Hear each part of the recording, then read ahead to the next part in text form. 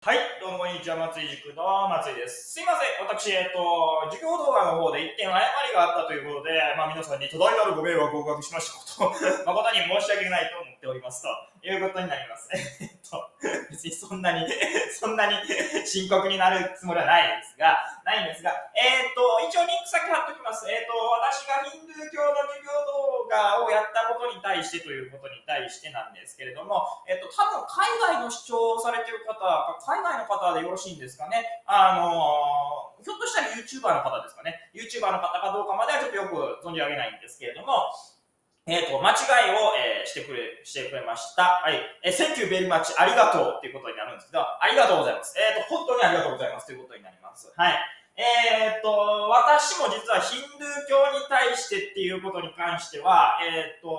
まあ、いわゆる日本の教科書で言われているところのヒンドゥー教とちょっと違うだろうというところの疑問点はあったんですが、確証は持てなかったんで、ちょっとあえて下げてた部分はあったんですけれども、はい。えー、と、いくつか私の言ってる授業動画に関して、えー、と間違いが、えー指摘されましたんで、ああ、そうなのかということでね、え今回ちょっとお話しさせていただこうかなということになります。はい。え私はヒンドゥー教に関しては、牛は神聖なものですよということ、ここに関しては間違いありません。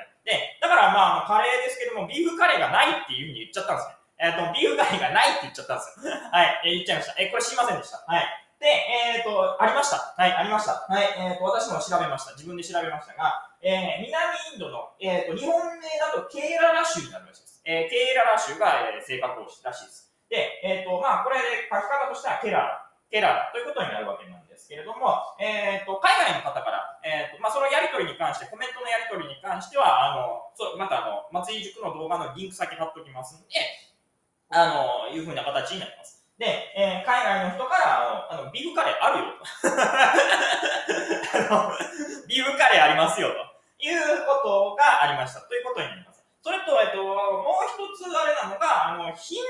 ー教っていうのは、どうも、要は日本の神道に近いらしいんですね。あヒンドゥー教ってはどうも日本の神道とイメージが近い。まあ、考えるとそうですよね。あの国家神道、いやまあ別に国家的な要するに考え方で、まあ、インドの要するに国教みたいなところもありますから、なんですけれども、ヒンドゥー教というのはどうも、その、イスラム教と要するに自国の国の教が混ざってたりするので、要はヒンドゥー教と一概一言に言っても、まあ、いろんな形のヒンドゥー教になってますよという形になってるらしいですということですね。はい。なので、例えばイスラム教とヒンドゥー教、つまりもともとあったヒンドゥー教がこう、まあ、混ざって要するになったというふうな形になってるらしいです。はい。日本でもまあ、神教っていうのと仏教っていうのは、まあ、ちょっとややこしいんですけど、まあ、逆本地衰弱説と本地衰弱説っていうところの2つがあるんですけど、その逆本地衰弱説と本地衰弱説っていうこの2つで、まあ、要するに、えー、と神道なんだけれども仏教的な要素を入れている。もしくはあの仏教なんだけれども神道的な要素を入れているということで、まあ、日本の宗教っていうのは結構、まあ、ごちゃっとしてる。まあ、ごちゃっとしてるっていうのと、あとまあ宗派ごとによって考え方は全然違ったりするんで、まあ、それと同じことがどうもヒンドゥー教らしいですということですね。はい。いやー、いいですね。YouTube 活動をやっててね、本当にね、一つ思うことなんですけど、まあ、まだまだ本当に私も不勉強だなということがね、分かったのと同時にですね、あ、やっぱ YouTube っていいわって思いましたね。あの、本当に YouTube っていいわって思いましたよね。やっぱりこう自分、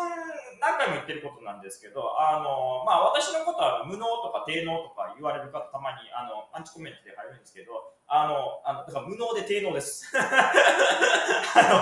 の、あの無能とか低能とか言うんで、あの初めの方から言ってますんで、あの、私は不勉強な部分はまだまだありますって言ってますし、あの無能ですって、低能です。だからアンチコメントは全然何度でもしてくださいっていうふうな話をしてるのはそういうことで、アンチコメントは何度でもしてください。で、あの、話として間違ってる部分があったらご指摘ください。ね、ご指摘ください。で、えーそれに関しては、あの、皆さんのおかげによって成り立ってますというふうに思ってます。で、これは本気で思ってますから。本気で私思ってますから。はい。あの、いうことになるんで、あの、いうことです。はい。皆さんありがとうございますです。はい。今日で、あの、本当に、もう何回も言いますけれども、何回も言いますけど、あの、南インドのケーララ州で、ケララというところですね。ケララというところで、まあ、海外の人からビーフカレーがありますよということなんで、あの、インドは、あのビーフカレーがないと私が言ったのは、あの、完全に間違いです。はい。えーと視聴者の方、ありがとうございます。ね。はい、ありがとうございます。はい。あの、インド語わかんないんでね、インド語で、Thank you very much っていうふうに言った方がいいですかね。Thank you very much. まあ、英語で言うのもなんか失礼な気もしますが、すいません。あの、言語がそこまで、あの、あちこちの言葉が知ってるわけではないんで、まあ、申し訳ないということになります。よろしいでしょうか？はい。というわけでね、えっ、ー、と、ヒンドゥー教の授業動画に私と間違いがありますので、皆さんそこのところだけお願いしますということで。ただ、あの、入試に出てくるのは、あの、ヒンドゥー教は、あの、牛尾神聖だというところ、そこしか出てこないんで、あの、高校受験ではそこしか出てこないんで、あの、そこのところだけは間違いないようにお願いいたしますということです。それでは本日もご視聴いただきまして、誠にありがとうございます。